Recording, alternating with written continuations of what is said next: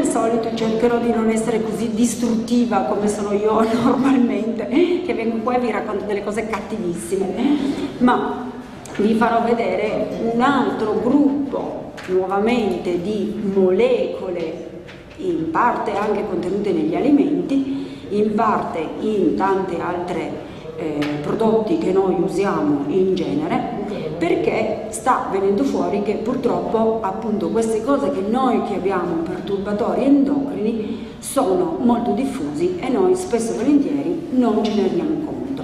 Infatti abbiamo deciso in parte di eh, fare questa lezione perché il paradosso che noi ci ritroviamo eh, spesso in ambulatorio è di dire alle persone, in particolare ai genitori dei eh, ragazzini, dei bambini o come vedete ai padroni anche degli animali perché abbiamo già detto tante volte che purtroppo ormai facciamo dei grossi pasticci anche con i nostri eh, amati animali.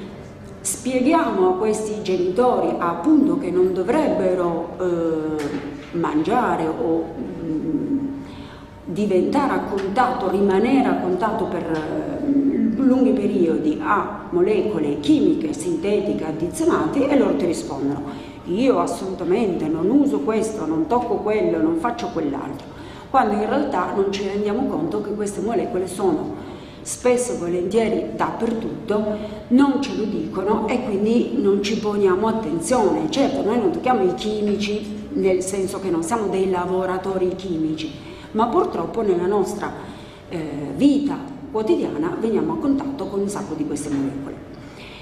Preciso che io stasera parlo solo dei perturbatori endocrini, quindi delle molecole di questo tipo aromatiche, aromatiche in chimica per noi vuol dire che hanno questi anelli che si chiamano benzenici, che hanno una caratteristica molto particolare chimica che servono come ormoni. Nel nostro organismo la maggior parte di queste molecole vengono utilizzate come segnali che vanno direttamente sul nucleo e quindi sul DNA delle cellule e funzionano come ormoni e quindi si chiamano endocrini. Sicuramente ci sono dei perturbatori di tutt'altro genere, eh, antiossidanti, cancerogeni eccetera, di cui oggi non parlo.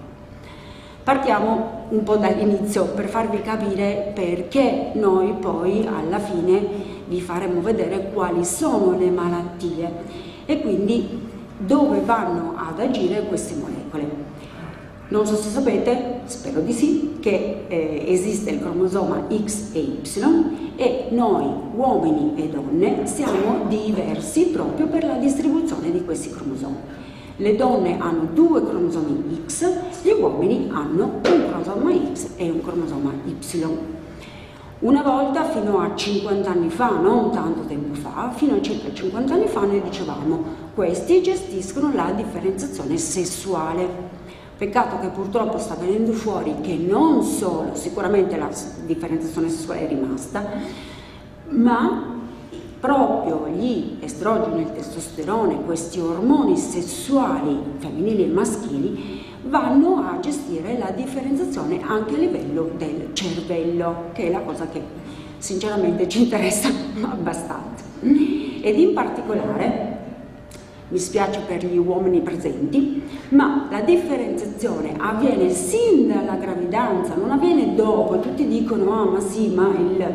Eh, caratteri secondari, caratteri sessuali secondari si sviluppano nell'adolescenza, d'accordo, quelli evidenti. In realtà la maturazione già originale avviene durante la gravidanza e nelle prime otto settimane il nostro organismo ed in particolare il nostro cervello è essenzialmente femminile. Quindi tutti gli embrioni sono femminili, partono come femminili. Questo vuol dire che in realtà l'embrione è un ermafrodito, cioè lui è in bilancio. Noi partiamo da questa situazione in cui appunto abbiamo tutte le possibilità, ognuno di noi ha tutte le possibilità femminili e tutte le possibilità maschili. Successivamente con un aumento funzionale degli estrogeni, che sono quelli femminili, possiamo diventare delle donne.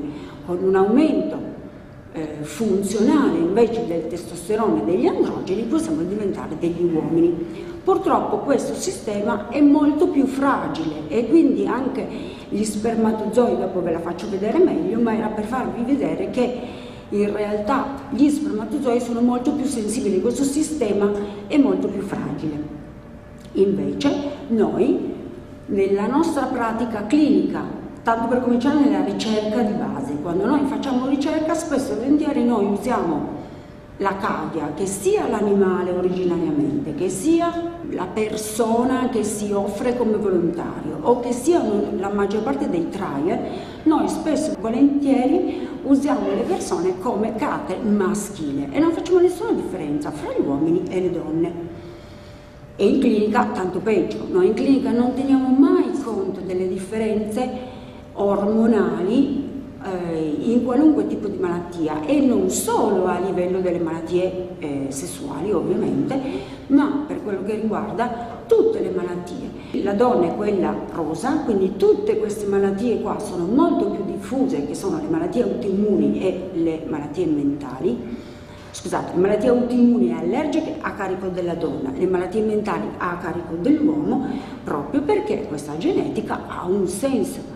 Quindi in realtà noi dovremmo porre, noi come classe medica, dovremmo porre molta più attenzione sia a questo si chiama genere, quindi al sesso, quindi a questi diversi eh, distribuzioni degli ormoni, sia alle fasi della vita. Quindi noi dobbiamo partire dal presupposto che è vero che l'embrione è ermafrodito, ma poi successivamente le nostre molecole dovrebbero determinare e differenziare specificatamente l'uomo dalla donna, mentre noi con tutte queste molecole che vi faccio vedere adesso facciamo un bel pasticcio e quindi questi sistemi che sono molto raffinati vengono ehm, modificati abbastanza facilmente, ma anche perché noi riusciamo a fare dei bei pasticci. Cosa intendiamo per queste molecole?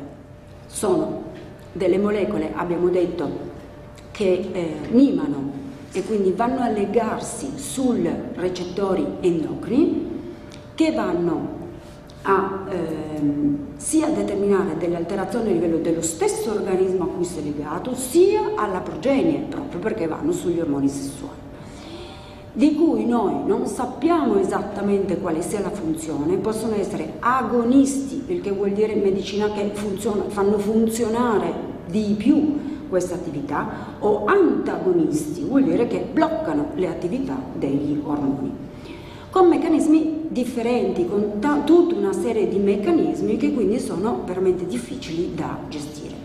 Tenete conto che questa eh, definizione è del 1996, quindi non è che l'abbiamo scoperto ieri, ormai lo sappiamo praticamente da vent'anni e nessuno ci racconta niente e appunto noi continuiamo a non fare attenzione a queste molecole. Vi faccio vedere due formule chimiche, non per fare una lezione di chimica, ma guardate solo graficamente gli eh, anelli, appunto, steroidei benzenici che vi ho eh, fatto vedere prima. Questi sono l'estrone, l'estradiolo, L'estriolo sono gli ormoni sessuali femminili naturali, questi sono quelli che noi produciamo. Queste sono le molecole molto simili, ad esempio della soia, che si chiamano fitoestrogeni perché vengono dalle piante. Questi sono quelli che sono stati prodotti dalle case farmaceutiche, quindi sono, sono sintetiche queste sono purtroppo quelle peggiori, che sono invece quelle sintetiche utilizzate dalle industrie sia alimentari che eh, dei detersivi che dei pesticidi che vi farò vedere e che spesso e volentieri sono nascoste, quindi sono quelle di cui in realtà noi non ci rendiamo conto e sono quelle che sono le più frequenti. Solo per spiegarvi perché è così facile, perché sono così diffuse. Voi fate finta che di tutte queste molecole di cui io sto parlando sono questo, l'ormone, ma essendo liposolubili, cioè avendo questa struttura appunto eh, ciclica, loro non hanno bisogno di nessun trasportatore, sono come dei gas, loro passano tranquillamente attraverso tutte le membrane quindi facilmente passano dal vaso sanguigno, quindi dal nostro sangue, passano il capillare, entrano nel liquido intercellulare, attraversano la membrana della cellula, attraversano la membrana del nucleo senza assolutamente nessun controllo. quindi anche una concentrazione che sia un po' di più di quella che è quella naturale, non ha assolutamente nessun controllo. Arriva direttamente sul DNA e appunto attiva o disattiva determinate funzioni. Questi recettori che si chiamano nucleari, proprio perché arrivano direttamente sul DNA, sono essenzialmente quelli estrogenici, quelli androgenici, quindi ormoni sessuali femminili, ormoni sessuali maschili, il cortisolo di cui noi parliamo tanto del cortisone, sapete il farmaco, il cortisone. Benissimo, il cortisolo è la molecola nostra endogena, che però ha gli stessi effetti del cortisone. Allora, se noi sappiamo quali sono gli effetti collaterali del cortisone, sappiamo benissimo, possiamo comprendere quali sono gli effetti eh, deleteri dell'eccesso di tutti questi eh, steroidi. La tiroxina e la vitamina D, perché queste molecole vanno a mimare esetta, esattamente la posizione che hanno i nostri ormoni all'interno del recettore. Allora, questa molecola grigia, la parte grigia, è il recettore, è questo pallino qua arancione che è quello che lega direttamente sul DNA ma vedete che la struttura tridimensionale dell'estradiolo, l'estrogeno comunque dei nostri ormoni umani mima perfettamente, qua gliene manca un pezzettino, è vero, ma dal punto di vista funzionale in realtà il recettore viene attivato ugualmente. Quello che sono importante è la distanza fra questi due H, vedete questi due pallini rossi, queste due strutture e quindi questa distanza fra questo H e questo H è esattamente uguale a questo H e questo H e questo H e questo H hanno la stessa funzione in realtà che è quella della tirosina quindi lui, il recettore, purtroppo non è selettivo, non è così specifico, ma ha un'alta affinità, vuol dire che eh, si attacca a qualunque molecola che assomiglia e che ha questi due OH e questi due anelli aromatici. Quindi in realtà il, co, il cortisolo, l'estrogeno, la eh, soia, la geliseina e la molecola della soia, la vitamina A, la vitamina D sono tutte molecole e poi passiamo a quelle industriali che mimano benissimo, questa è di nuovo la nuvola elettronica, guardate questo disegno, la parte blu è l'estradiolo, quindi il nostro vero estrogeno. La parte verde, la molecola attaccata sopra quella verde è appunto la soia. Che differenza fa? Praticamente nessuna. Quindi purtroppo questo va a, normalmente ad attivare, ma dall'altro eh, punto di vista è che noi non sappiamo esattamente che cosa fanno su questi recettori. Allora, questa è la nostra cellula, questo è il recettore molto più stilizzato e questo è l'ormone, mettiamo che sia l'estrogeno. E questa quindi è la risposta normale, fisiologica, se io avessi il mio ormone o comunque il dosaggio dei miei ormoni prodotti dalle mie eh, ovaie. Se io invece ho questa molecola che noi chiamiamo perturbatore interferente che si attacca possiamo avere una risposta eccessiva, una risposta ridotta, ridotta scarsa, oppure possiamo avere appunto lo spegnimento di questo recettore. Da che cosa dipende? Non lo sappiamo, dipende dalla condizione recettoriale, dipende dall'ubicazione dei recettori, dipende dalla conformazione tridimensionale in quel momento lì, in ciascuna persona. Quindi noi a priori non sappiamo neanche quale sia l'effetto vero. Ad esempio il tamoxifene, sapete, avete mai sentito cos'è il tamoxifene? Questo farmaco che noi usiamo per andare a bloccare i recettori, perché noi sappiamo che in quella posizione lì va a bloccare il recettore dell'estrogeno a livello della ghiandola mammaria.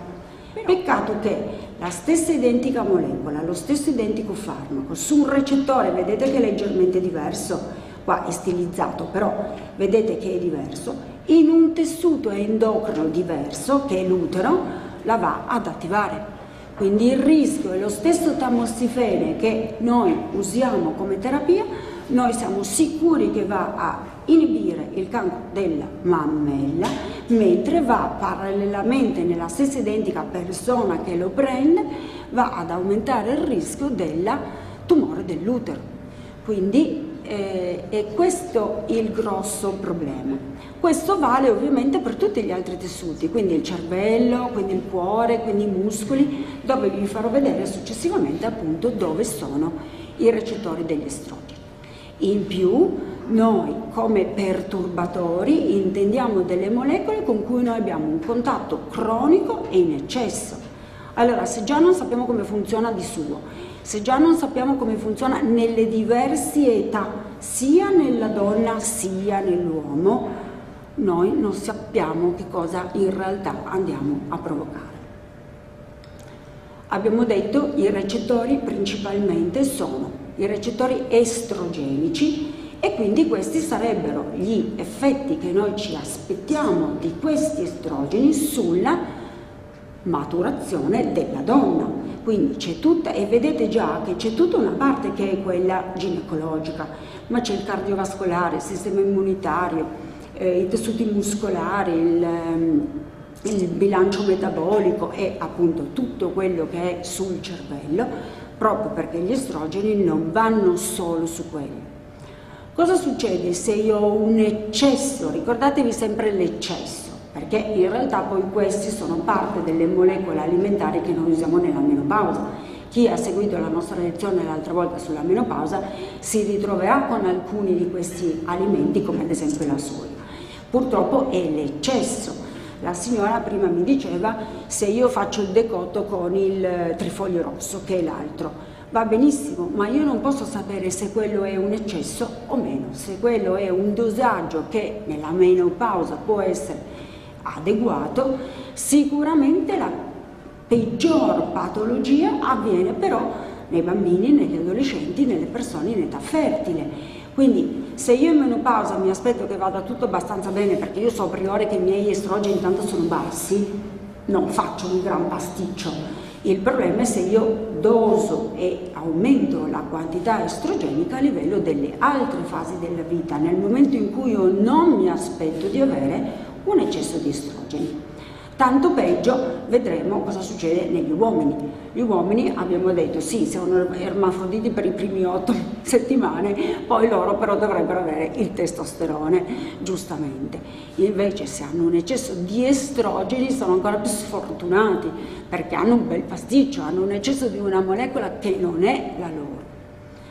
A livello cerebrale noi continuiamo a eh, stressare questa cosa perché in realtà, vedete, questo non per, per eh, farvele imparare, ma sono tutte strutture, sono tante le strutture su cui gli estrogeni vanno a, eh, ad agire sul cervello. E già solo appunto alcune di queste aree sono quelle che sono, sembrano adesso, sappiamo che sono quelle più legate allo sviluppo dei disturbi d'ansia, dell'autismo, delle psicosi, dell'identificazione del nostro sesso e quindi tutte queste eh, attività vanno alterate.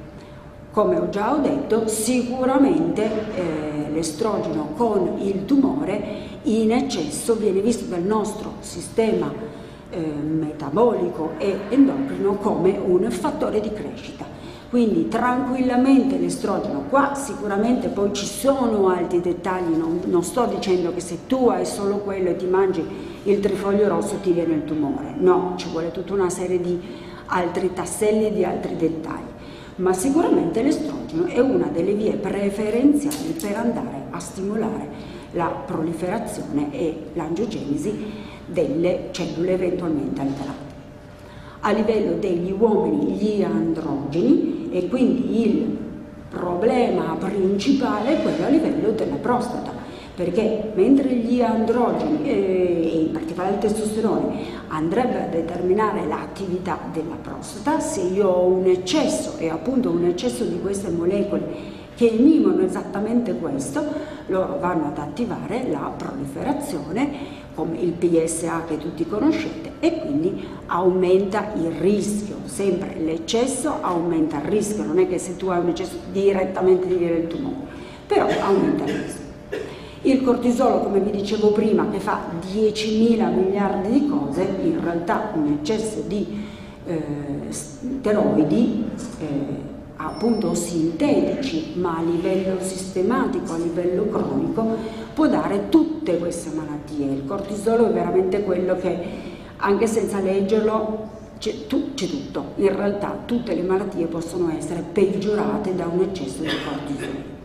Sicuramente gli ormoni tiroidei e di nuovo qua come vi dicevo sia l'ipertiroidismo che l'ipotiroidismo perché io non te lo so dire se lui in realtà riesce ad andare a mimare eh, attivando in un modo eh, eccessivo la tiroide o eh, bloccando l'attività della tiroide. Spesso e volentieri sicuramente il più frequente è l'ipotiroidismo e noi vediamo sempre di più l'ipotiroidismo infatti nei giovani perché comunque queste molecole che vengono assunte diciamo dallo svezzamento in poi in realtà in 20 anni, noi ormai i ragazzini 17-20 anni riusciamo a vedere già delle patologie croniche tendenti all'ipotiroidismo. Sicuramente la vitamina D di cui noi abbiamo detto tutto il bene possibile, certo perché se io la prendo dalle uova, dal formaggio, dalla carne, quindi a dei dosaggi mm, funzio funzionalmente fisiologici, loro vanno a ossificare le ossa, a proteggere dalle infezioni e tutta una parte appunto sul sistema immunitario e sui dolori. Ma in eccesso, e vi farò vedere dove viene messa in eccesso, lei va di nuovo sulla proliferazione cellulare, sulla maturazione, sul, sui fattori immunitari e quindi potrebbe in eccesso cronicamente determinare eh, delle alterazioni tumorali di vari tessuti che non sono ormonodipendenti, non sono dipendenti dagli ormoni sessuali. Quindi quello che ci preoccupa di tutte queste molecole è proprio che ce ne sono tante e noi non lo sappiamo. Dove sono queste molecole? Purtroppo un po' dappertutto. Questa casetta mi piaceva tanto, anche se non riuscite a leggere, ma non importa. Queste sette classi sono le sette classi principali che adesso vi farò vedere e guardate solo la distribuzione. Dai tessuti ai televisori, quindi tutta la parte eh, tecnologica in plastica, a tutto quello che noi mangiamo e anche solo ai contenitori dei nostri alimenti ha tutta una serie di, eh, di nuovo tessuti e eh, apparecchiature che noi usiamo in camera da letto al bagno. Quindi purtroppo la eh, distribuzione di queste molecole è molto ampia e questo è solo per farvi vedere l'entità. Noi abbiamo ancora oggi nel 2015 eh, comunque una distribuzione abbastanza alta di tutte queste molecole che determinano tutte queste malattie. E noi abbiamo una spesa enorme, perché mi sembra che questi bilioni siano veramente una spesa enorme, su una serie di malattie che sono determinate da queste molecole. E veniamo alle molecole vere e proprie. Vi abbiamo fatto vedere l'altra volta appunto i fitoestrogeni. Partiamo da quelle alimentari, che sono quelle più interessanti, sono quelle su cui peraltro noi possiamo fare un minimo di attenzione su cui possiamo fare, eh, porre attenzione sulla qualità, sulla quantità e leggere le etichette. Tutti questi eh, alimenti ed in particolare questo elenco sono tutti alimenti che contengono dei fitoestrogeni. Allora, se io sono in menopausa e so che voglio prendere un'aumentata dose di queste molecole, sono perfettamente d'accordo. Il problema è quando sono appunto nascosti ad alte dosi o a dosi che noi non conosciamo. In particolare la soia. La soia ci viene raccontata come appunto questa bellissima, eh, è un legume, per cui come tutti i legumi ha un'alta quantità di proteine, proteine vegetali, ma poi ha legato, perché è un prodotto comunque oleoso, da cui appunto facciamo anche effettivamente l'olio, quindi in tutti i derivati della soia rimangono gli isoflavoni e come vi ho detto la genisteina e dazeina si chiamano quelli principali e la lecitina di soia che sono queste molecole, appunto come vi ho fatto vedere, questo è il nostro estrogeno e questo non cambia assolutamente niente, è uguale, identico. Peccato che la quantità abbastanza piccola, che è circa 40 eh, grammi, 40 grammi di proteine della soia, sono abbastanza poche, avete un'idea, è mezzetto. In 40 grammi di eh, una qualunque prodotto che contiene eh, la soia, contiene 90 mg di isoflavoni, cioè di queste molecole. Peccato che 90 mg è più alto del dosaggio del farmaco che noi usiamo per la menopausa nella concentrazione forte. Quindi il forte è 80 mg. Se noi mangiamo 40 grammi di proteine ne abbiamo già di più e spesso e volentieri non lo sappiamo e spesso e volentieri noi diamo queste proteine ai nostri figli, ai, nos- ai bambini, agli adolescenti, che effettivamente se lei se noi ponessimo attenzione non gli daremmo sicuramente una compressa di provensile, che è quello ad alto dosaggio per le donne in menopausa. Questo ve l'ho già fatto vedere prima, appunto la molecola. Questa è la distribuzione purtroppo della soia. Questa è più carina ma non si riesce a leggere, vi faccio vedere questa che è più...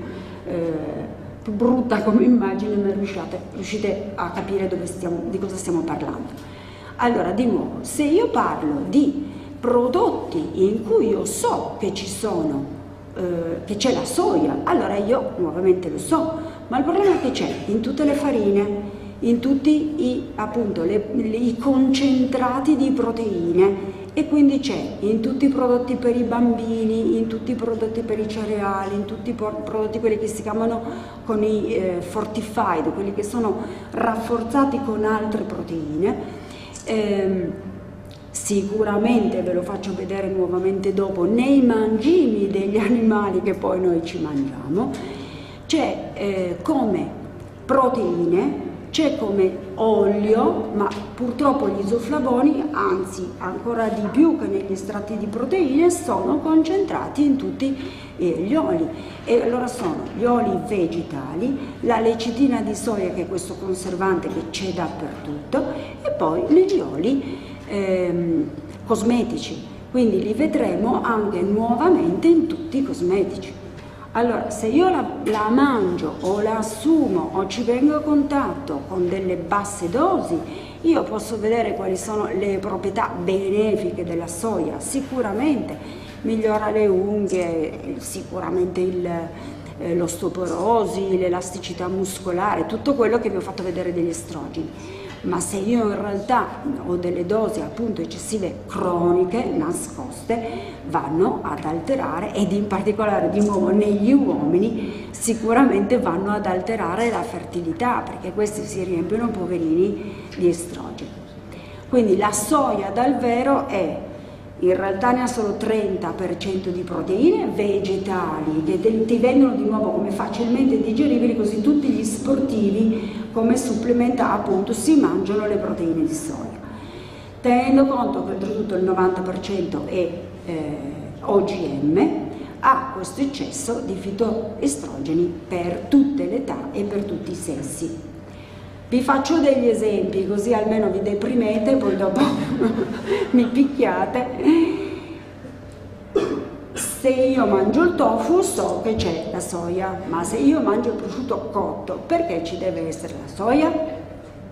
Purtroppo nei prodotti di bassa qualità, in cui comunque già l'allevamento in questo caso, ma vi faccio vedere degli altri esempi è la stessa cosa, che hanno un gusto minore, che partono dai dei prodotti comunque di bassa qualità, quindi hanno dei problemi di, eh, nutrizionali, cioè di quantità proprio di nutrienti, di vitamine, di proteine. Eh, queste proteine comunque essendo oleose le usano come emulsionanti, quindi li aggiungono. E la legge glielo permette perché questi prosciutti sono dei prosciutti tranquillamente in vendita dappertutto. E teniamo conto che c'è scritto, ci deve essere scritto sull'etichetta, quindi basta porci attenzione, leggere le etichette e cercare di almeno non comprare questi prodotti. La stessa cosa con la maionese. almeno qua c'è scritto senza uovo al gusto di maionese. Spesso e volentieri però fate attenzione perché c'è proprio scritto maionese. La maionese per i vegani e i vegetariani è la cosa peggiore, perché visto che non ci mettono l'uovo, ho capito, la maionese con l'olio non si può fare da solo, l'olio lo sbatti e non viene la maionese, ci devi mettere dentro qualcos'altro. Cosa? Le proteine della soia. La stessa cosa nei prodotti pronti, ovviamente, eh, l'abbiamo già ripetuto tante volte, tutto ciò che è pronto ci hanno già aggiunto delle schifezze che non eh, ci dovrebbero essere. Allora questo è un pronto da mettere in padella che dovrebbe essere un croccopollo, già dal nome mi fa ridere, ma comunque dovrebbe essere un prodotto di carne. E perché ci sono le proteine della soia concentrate? E poi ovviamente c'è la lecitina di soia. La stessa cosa qua, la stessa cosa nelle merendine. Ecco, nelle merendine c'è proprio la farina di soia e l'olio di soia. Ecco qua i mangimi che vi dicevo prima. Questi non sono mangimi qualunque, sono i mangimi del ehm, dell'Emilia Romagna con il cui latte viene prodotto il grana padano tipico, quindi non il contadino, l'allevatore qualunque che c'è per lì in giro che non viene controllato. Questo fa parte di un DOC, grana padano tipico, in cui gli mangimi per legge sono accettati, vedete tutte queste farine, qua c'è la farina di soia e sono OGM. Quindi c'è la soia ed è puro OGM. I prodotti dietetici, in tantissimi prodotti dietetici, visto che appunto ti dicono ah la carne no, le proteine della carne rossa no, e questo no, e questo no, che cosa c'è? La soia, se no, eh, non, non, dietetico cosa ti metto? Lo zucchero? No, ti devono mettere le proteine e quindi della soia. Sicuramente tutti questi snack che ormai ci sono dappertutto proprio perché la soia purtroppo fa chic e quindi tutti questi snack di eh, prodotti tostati hanno sempre più spesso le noccioline di soia. Sicuramente tanti biscotti e tanti eh, prodotti alimentari hanno la lecitina di soia quando oltretutto mi spiace continuare a ribadire questa cosa, ci dicono sono biologici. E biologici però se tu devi guardare le statistiche in realtà il 93% della produzione mondiale della soia è OGM. Se noi guardiamo, guardate questo disegnino che è quello che rappresenta la soia, se voi guardate i diversi stati eh, c'è la soia OGM dappertutto. E allora tu dici sì, e quella che è biologica dove se la fanno? Sotto il letto? Mm, non lo so. Io ho dei grossi dubbi sempre di più su questa produzione biologica. Veniamo ai legumi.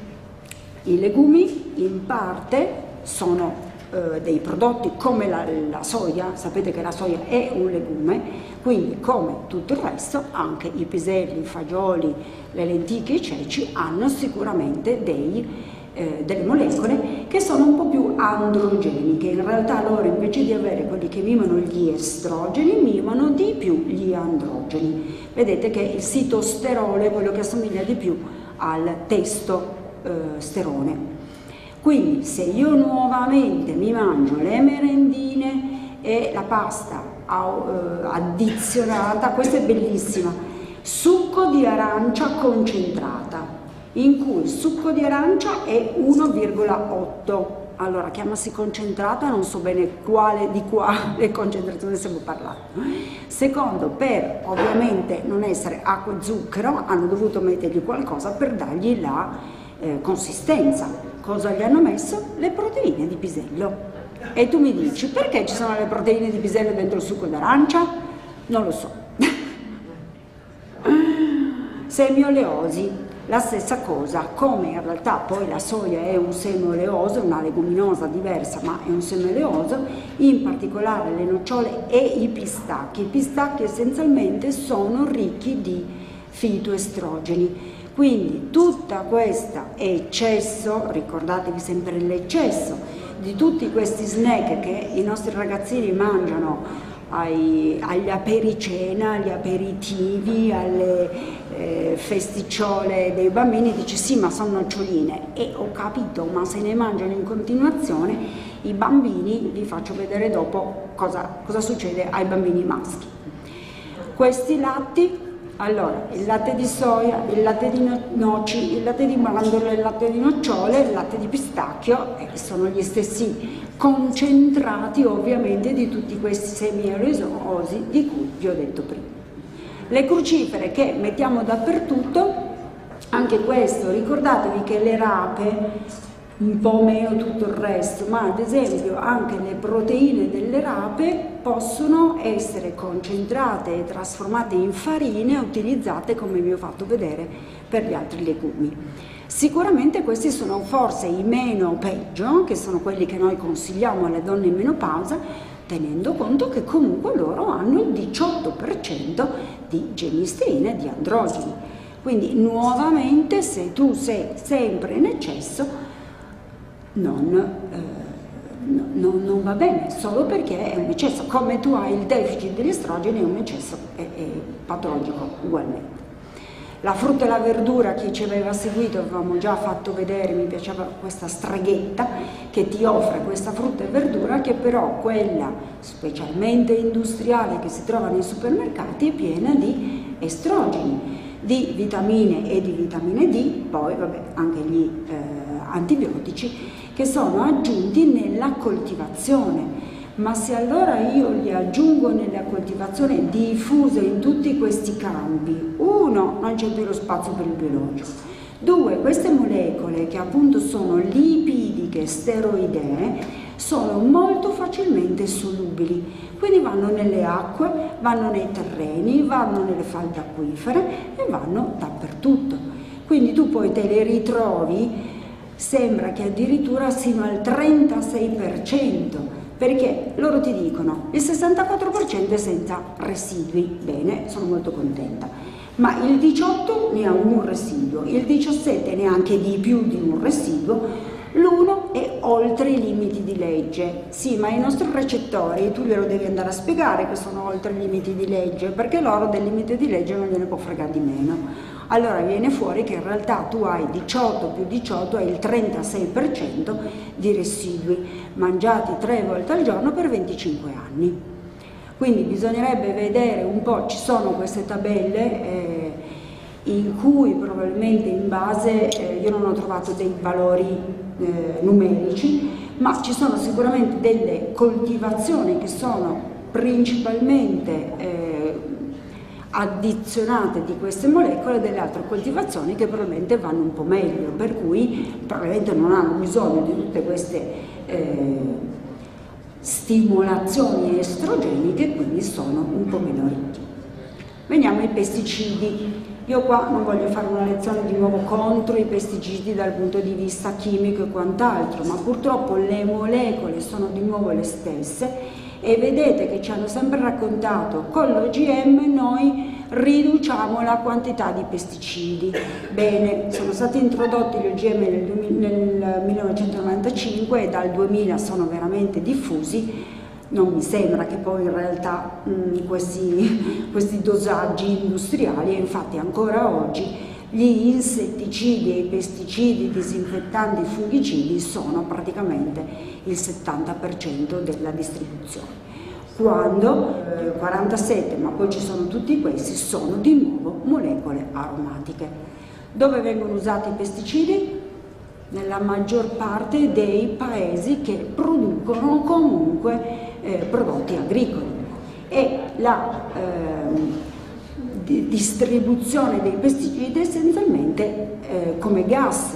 Quindi questa eh, innaffiatura, o come volete, questa distribuzione appunto eh, per via aerea è ovvio che giustifica nuovamente quello che vi ho detto prima.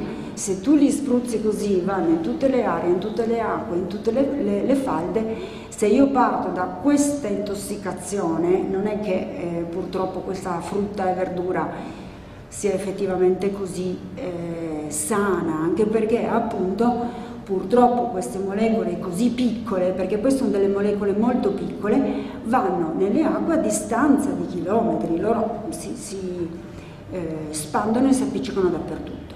Questo è lo stesso motivo per cui stanno morendo le api. Sapete che c'è questo grosso problema della riproduzione, e siamo sempre là, della riproduzione sessuale delle api. Perché? Perché loro si eh, mangiano, succhiano il nettare da queste piante che sono piene di queste molecole aromatiche e quindi va ad alterare il loro sistema endocrino. Guarda caso, questa è l'Italia, queste sono le acque superficiali, quindi questo è l'inquinamento da parte di queste molecole eh, delle acque superficiali e noi siamo veramente nel posto migliore. Questo è le acque profonde, le acque sotterranee, quindi le falde. Questo se vi piace di più è ancora più evidente e poi come vi dicevo prima, se questa è la distribuzione italiana, poi però su questa cartina mi dici che noi siamo uno dei paesi che produciamo la maggior parte degli, ehm, dei prodotti organici, quindi biologici, non OGM, senza un'aggiunta di fertilizzanti. Se tu hai queste intossicazioni delle acque sotterranee e poi crede a questa cartina, non lo so. Il glifosfato ve l'ho lasciato perché non so se avete sentito proprio una eh, discussione che è in atto in questi giorni perché l'Unione Europea sta cambiando i livelli di eh, quantità ufficiale che si possono usare di questo eh, insetticida ovviamente americano, che viene sempre spruzzato, vedete che la macchinetta, il sistema è sempre lo stesso, che si sa esattamente essere legato ad esempio all'autismo. Per cui vedete la riga rossa e la quantità del, di questo diserbante utilizzato in agricoltura, le barrette gialle sono l'incidenza di autismo nei bambini e vedete che mi sembra che non sia tanto difficile da capire che è abbastanza correlato. La stessa cosa con i cereali. I cereali sono quelli per cui vengono utilizzate principalmente queste molecole che sono degli organi fosforici. Allora, gli organi fosforici noi ora sappiamo che sono principalmente legati anche a basso livello, quindi non solo dal punto di vista di queste malattie professionali acute, di questi agricoltori che lo usano, ma a basse dose cronicamente diventano delle malattie della popolazione. Quindi sia dal punto di vista neurologico le neuropatie, il Parkinson, l'Alzheimer sono quelli principalmente legati eh, al, come malattia professionale, ma sicuramente l'infertilità è stata studiata anche poi nei topi e vedete che aumenta sempre di più, certo che più vai avanti più aumenta l'età delle coppie, più aumenta, ma proprio per questo motivo. Ancora nei domestici, a livello nostro casa, dobbiamo fare attenzione perché in tutti gli spray ci sono questi insetticidi. E quindi poi diciamo i nostri bambini vanno a scuola e vengono etichettati come questo deficit ADHD, il deficit di attenzione, l'iperecitabilità, i bambini che non sono capaci di stare seduti su una sedia, non riescono ad apprendere e gli insegnanti non riescono a tenerli in classe. Sì, ma non è colpa né del bambino né dell'insegnante e che il suo cervello è iperstimolato da tutta questa serie ed in particolare il bambino maschio perché infatti l'incidenza di questa malattia è aumentata nel bambino maschio proprio per questo motivo. Ancora nelle carni, ve l'abbiamo già detto che purtroppo tutti gli allevamenti industriali sono appunto come la frutta e la verdura addizionata e ci sono ormai evidenza da tutte le parti noi sappiamo benissimo che una volta i polli eh, venivano allevati in tre mesi diventavano grandi così, adesso in tre mesi diventano grandi così. Questa mucca, abbiate pazienza, è reale, non me la sono inventata, non l'ho disegnata di notte, è proprio un problema dovuto a, al testosterone, progesterone estradino.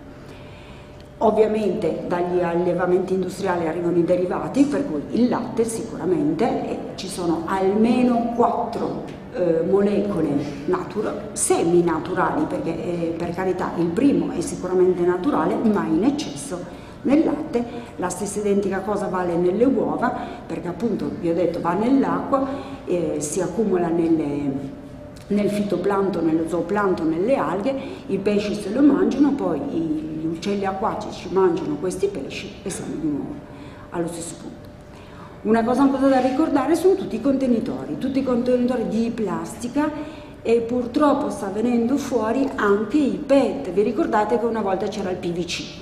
Allora, il PVC era quello veramente più tossico che cedeva specialmente se riscaldato, cedeva queste molecole. In realtà adesso anche il non PET, ma in, in certe occasioni anche il PET, perché noi lo usiamo diffusamente e usiamo anche questi contenitori eh, che, che, che, si trovano in tutti i supermercati riscaldati dentro il forno, il forno microonde, tutto quello che volete. Il grosso problema sicuramente sono le mense scolastiche, perché i nostri ragazzini piccoli, in un'età in cui non dovrebbero essere a contatto con un eccesso di estrogeni, vanno a scuola almeno 5, 5 pasti, 5 pranzi tutte le settimane. Non è il problema della festa di compleanno, se i ragazzini vanno una volta al mese a una festa di compleanno e usano questi diavolo di piatti non succede assolutamente niente, il problema è che loro vanno a scuola per nove mesi e mangiano nei piatti di plastica. Sicuramente anche tutta la nostra celofane, tutta la plastica che noi usiamo per la conservazione, di nuovo, se io metto la mia alimentazione anche tutta tagliuzzata, tenete conto che tagliuzzata è molto peggio che la verdura e la frutta intera, perché ovviamente questa viene assorbita molto più facilmente. Se io vado a fare un picnic in montagna e ci metto quello dentro due ore, ci metto il panino dentro due ore, non succede niente. Il problema è quando tu invece usi questi prodotti sette giorni alla settimana perché a casa è questa routine e in più li facciamo riscaldare. Il bisfenolo ve l'ho solo ricordato se vi ricordate la eh, discussione che c'era stata tanti anni fa perché veniva messo essenzialmente nei biberon, quindi la plastica del biberon aveva in particolare questa molecola, adesso non c'è quasi più. Ancora i farmaci, sicuramente tutti i farmaci sia come componenti sia perché sono contenuti nella plastica. E per migliorare le cose hanno inventato anche le pillole, no, una volta c'erano le compresse, almeno non c'era la parte plastica, no, adesso abbiamo le pillole che sono addizionate di queste molecole che si chiamano parabeni oppure sono addizionate dappertutto della vitamina A e della vitamina D. Sicuramente ci sono anche questi farmaci che sono quelli che vi abbiamo raccontato l'altra volta perché io invece li uso abbondantemente come fitoestrogeno a bassa dose, la salvia officinale e appunto il trifoglio rosso. Però sono farmaci che io so, che io compro perché io voglio un eccesso di estrogeni e vengono prescritte delle persone che sanno che cosa stanno prendendo.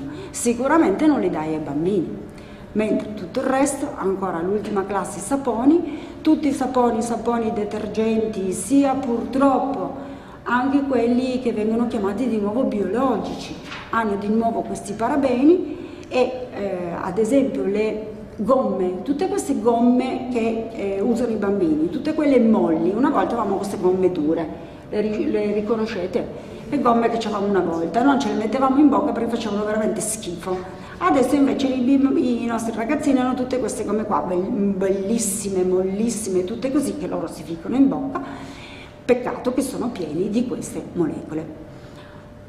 I, ho scoperto, non lo sapevo neanche io, i dentifrici o comunque tutti i prodotti, specialmente nei tubetti, le creme e quant'altro, dovrebbero avere questo bollino. Sono andata a controllare ed è vero. Allora, questo bollino qua, in base al colore, ci dice in realtà la eh, composizione del prodotto.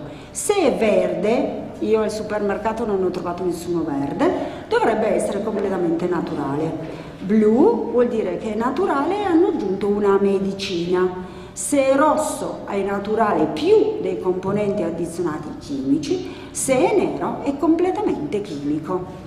Quindi questo potrebbe essere un, un, altro metodo, perché poi spesso e volentieri leggi i componenti non capisci assolutamente nulla, però questo ci dice, quindi quelli neri sono assolutamente chimici.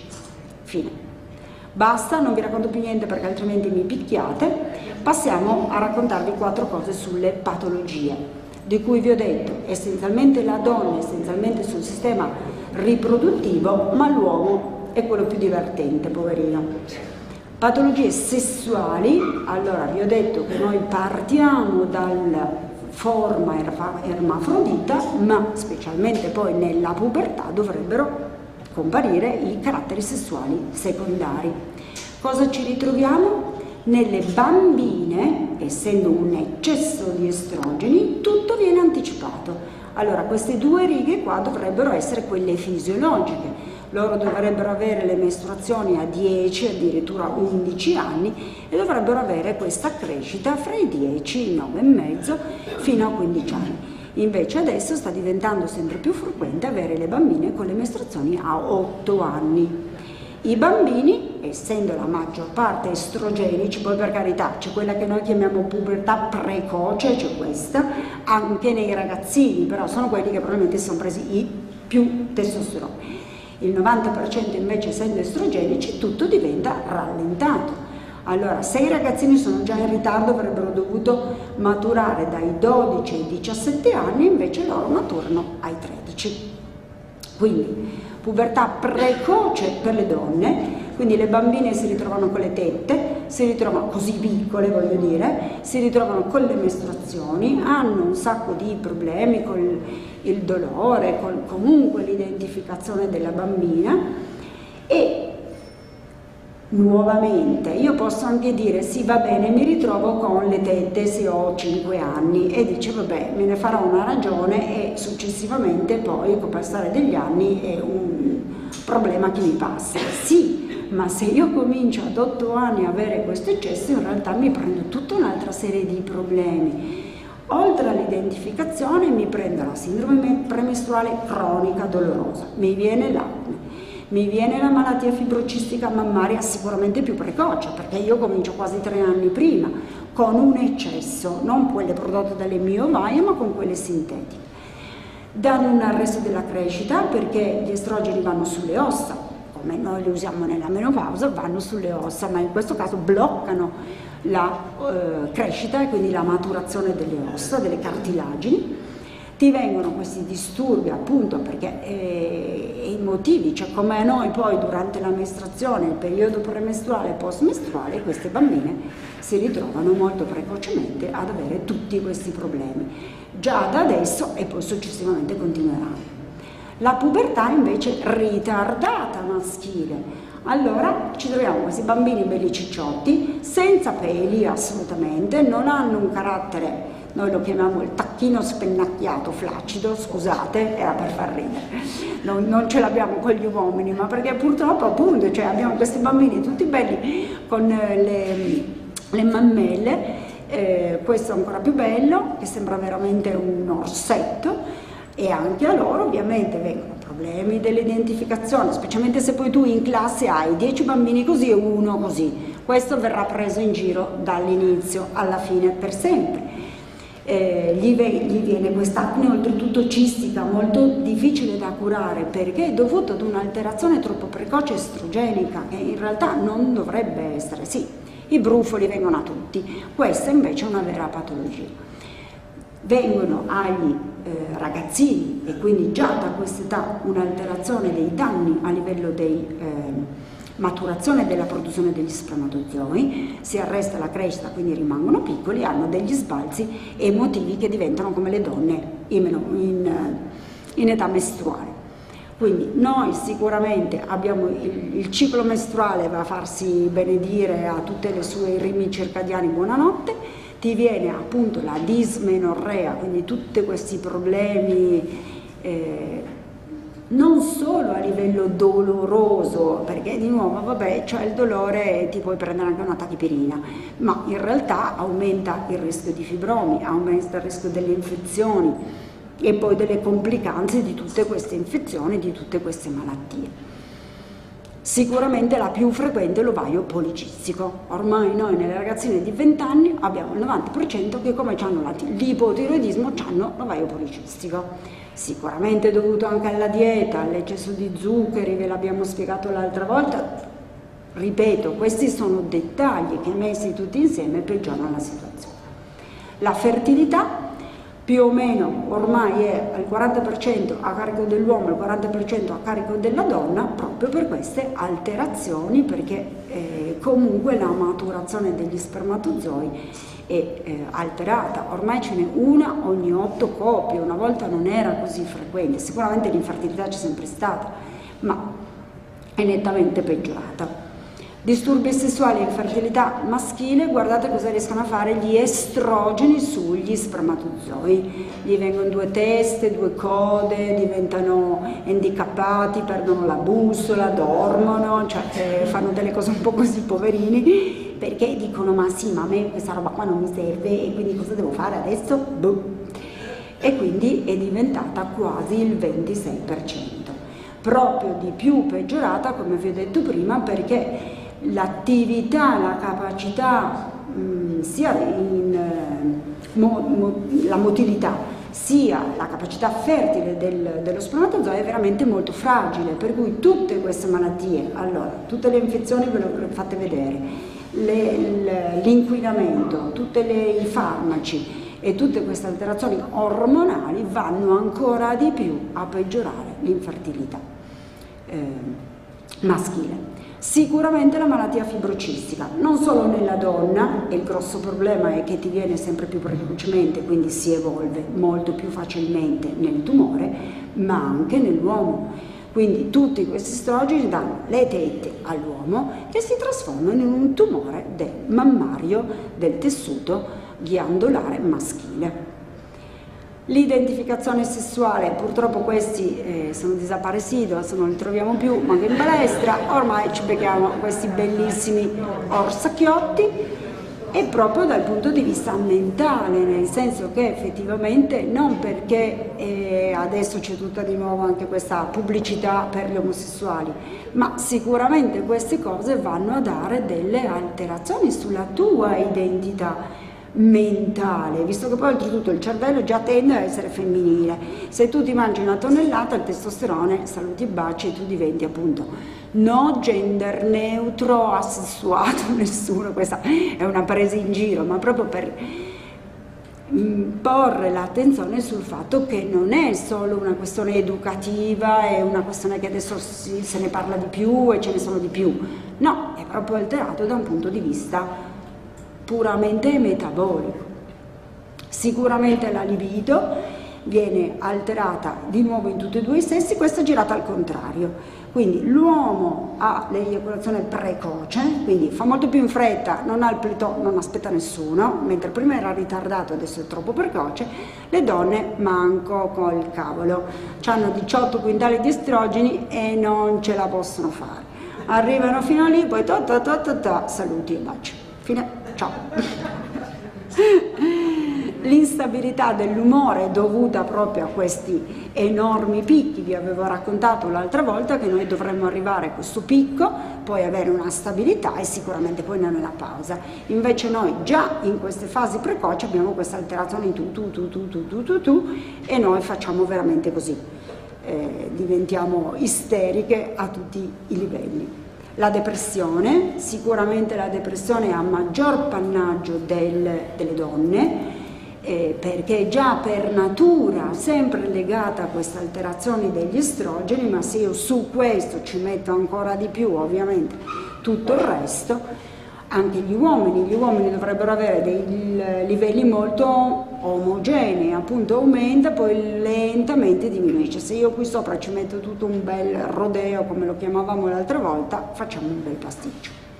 E nei periodi che già sicuramente noi abbiamo delle alterazioni, quindi all'inizio nella eh, pubertà, durante la gravidanza e eh, nella menopausa, tutte queste cose sono di, eh, peggiorate disturbi del sonno. Noi spesso e volentieri non facciamo caso, ma i disturbi del sonno già nei giovani possono essere anche dovuti a questi eccessi, perché sia l'eccesso che ehm, la riduzione della quantità di estrogeni altera il sonno REM. Sapete cos'è il sonno REM? È una fase molto profonda in cui noi, si chiama REM perché abbiamo questi movimenti oculari, in cui noi veramente riusciamo a riposare, a rilassarci e a spegnere il cervello. Purtroppo sia l'eccesso che la mancanza di estrogeni in particolare altera questo sonno REM e quindi la gente non dorme più. Patologie non sessuali, ci sono tutte queste qua e appunto eh, parleremo probabilmente la prossima volta del, della resistenza insulinica e uno dei problemi è proprio lo sbilancio ormonale Vi ho raccontato i pesticidi, sicuramente le demenze, dall'Alzheimer a tutta una serie di demenze, le malattie cardiovascolari sia a livello cardiaco, eh, quindi l'infarto, sia a livello cerebrale, sia a livello dei vasi periferici e ancora a livello metabolico, quindi vedete che qua c'è il sistema immunitario, eh, il, il, sistema cerebrale, il sistema eh, riproduttivo, questo sicuramente, a livello metabolico del fegato, del pancreas, del diabete, la cosa più eclatante che appunto sta venendo fuori di nuovo nell'uomo e nella donna è proprio questo eh, esagerato eh,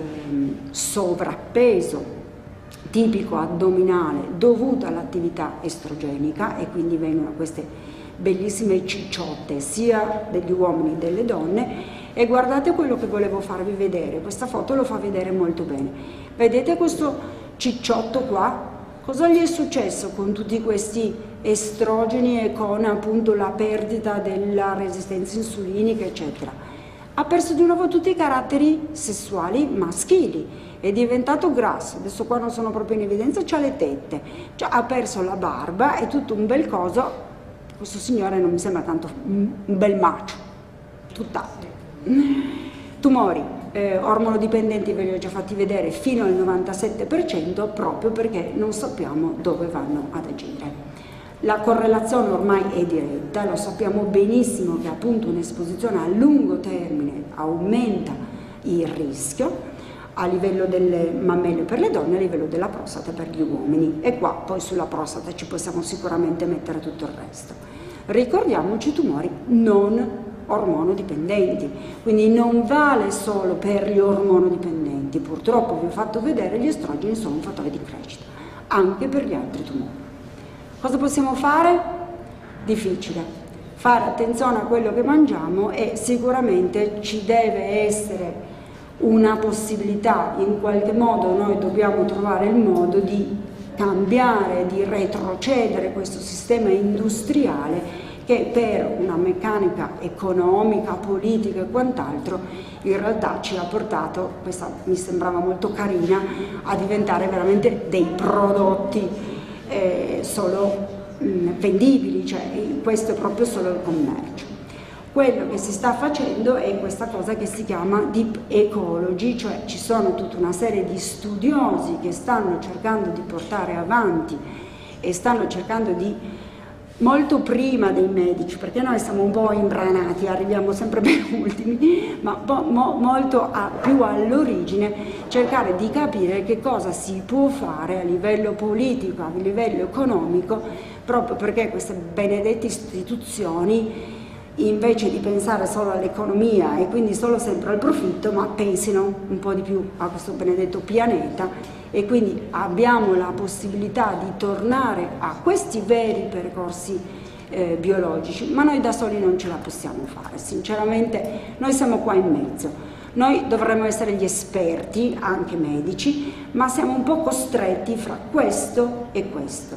Se il sistema economico, politico, istituzionale non vuole veramente cambiare, noi siamo veramente un po' eh, compressi da quello che è invece l'industria e appunto il, eh, tu, tu, tutto il sistema, l'ingranaggio economico. Grazie mille.